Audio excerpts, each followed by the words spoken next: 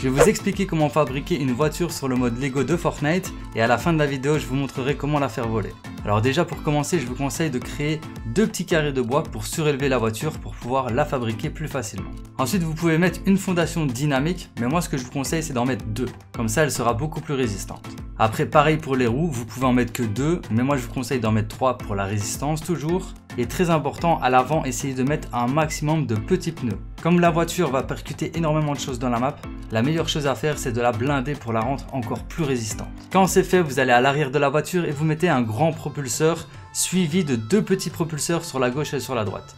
Pas besoin d'en mettre plus, c'est largement suffisant pour pousser les deux plateformes dynamiques. Ensuite, vous placez un interrupteur d'action sur la plateforme dynamique et là sur le devant du véhicule, vous allez placer trois petits blocs en bois.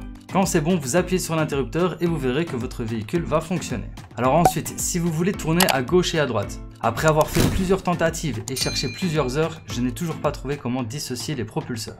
Donc la seule solution quand vous voulez tourner, c'est de mettre un propulseur à gauche ou à droite des trois petits blocs en bois. Comme ça, quand vous allez actionner l'interrupteur, là ça tournera à gauche ou à droite en fonction de votre choix. Et ainsi, vous allez pouvoir contrôler votre véhicule et voyager un peu dans toute la map.